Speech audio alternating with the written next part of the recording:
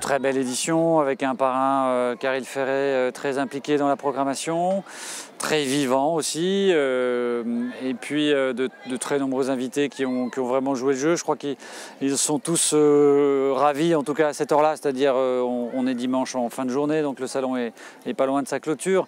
les rencontres étaient toutes pleines, énormément de visiteurs. beaucoup de débats passionnants. voilà, un salon, je pense, réussi dans l'ensemble. Euh, il y a toujours des petites choses à revoir d'une année sur l'autre, mais c'était, je crois, une, édition euh, assez complète avec euh, beaucoup de choses et, beaucoup de belles rencontres. Le thème de l'année prochaine, le monsieur le maire de Gradignan l'a annoncé hier soir, ce sera Amour et haine.